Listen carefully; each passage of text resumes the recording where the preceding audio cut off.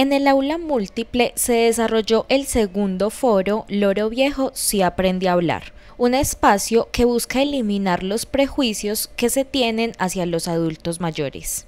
El día de hoy estábamos conversando sobre los estereotipos asociados al envejecimiento y la vejez. Hablando de eso de que loro viejo no aprende a hablar, pues estábamos contando que hay mitos y estigmas que deben ser derribados porque los loros viejos sí aprenden a hablar. Estuvimos conversando de temas muy interesantes y la población estuvo muy contenta.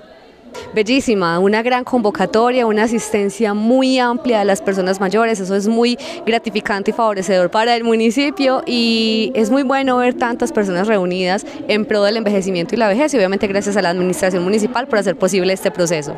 Es importante tocar estos temas en los municipios y generar la sensibilización porque todas las personas estamos envejeciendo diariamente.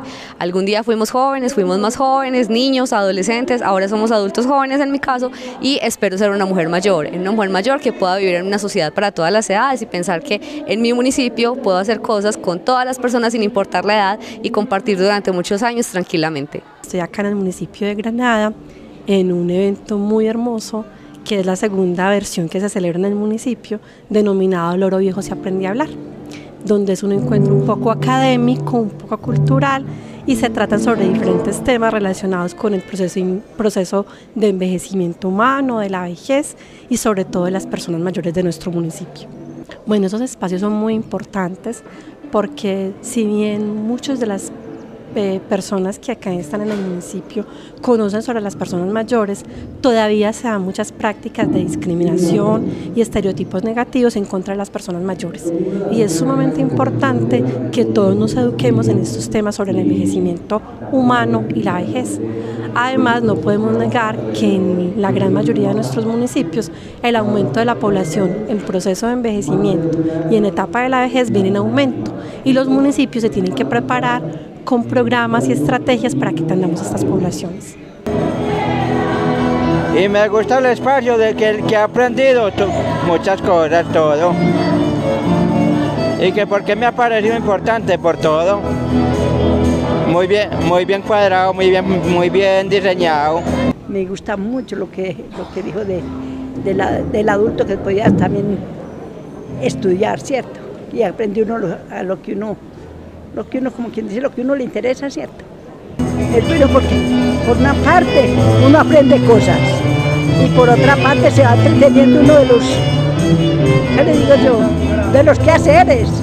Se descansa uno de, de la junta. Muy, muy, muy, cosas muy importantes de de que uno pues no, no debe de complicarse con nada, ¿cierto? Por nada, uno seguir como Dios le ayude y, ahí va uno, ahí va, ahí va uno en el grupo y yo vivo muy amañada, muy amañada en el grupo.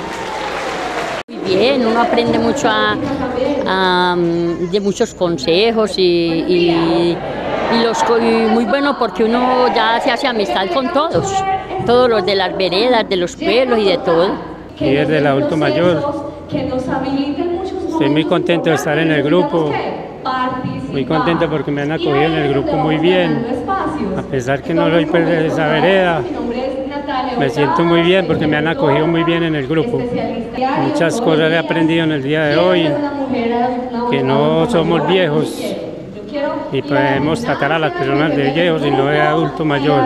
Les cuento que el día de hoy estamos en el foro del Oro Viejo si aprende a hablar donde estamos dando un mensaje muy importante a toda la comunidad, a las personas mayores, del el valioso, de lo valiosos que son las personas mayores para nosotros, ¿cierto? Desde la administración municipal, en cabeza de nuestro alcalde don Daniel, estamos eh, con el objetivo de hacerle entender a las personas y a la comunidad de que los adultos mayores son muy valiosos, son muy importantes, eh, merecen respeto, eh, que si en algún momento las personas mayores son lentas, o presentan alguna enfermedad o alguna discapacidad, hay que tenerles paciencia, tolerancia, cariño, trabajar con ellos de la mano y obviamente no necesariamente todas las personas son en esas condiciones. Hay personas mayores totalmente activas, saludables, que participan de los programas gerontológicos y que son eh, eh, unos aprendices eh, que pueden aprender sistemas, que pueden aprender cualquier tecnología. Con la ponencia de dos gerontólogas se tocaron temas como la